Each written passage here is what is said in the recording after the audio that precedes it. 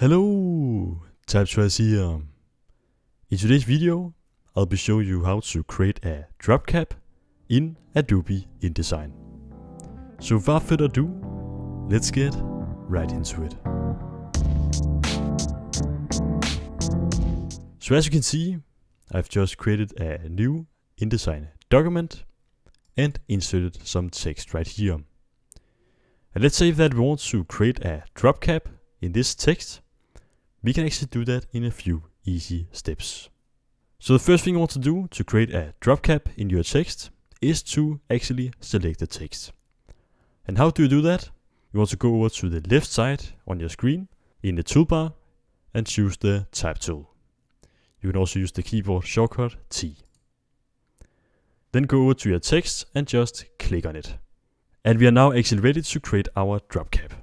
So from here, we want to choose a panel and we want to go up in window, choose type and tables and paragraph. You can also use the keyboard shortcut Ctrl Alt T. And this panel will now show up.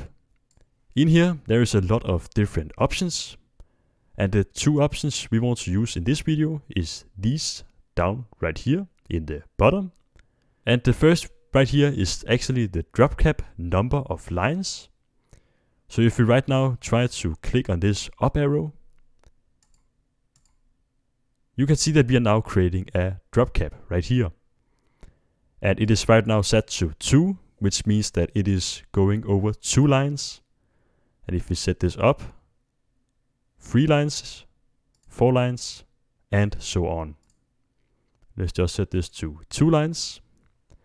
And the next option right here is that if we want the drop cap to be more than one character, so let's say that we want our drop cap to be, let's say, three characters instead of one, we can actually just click right here to add that. Just like this. So yeah, you can just customize your drop cap however you would like. And when you're happy with the result, you can actually just close this panel right here. And we have now added a drop cap to our text.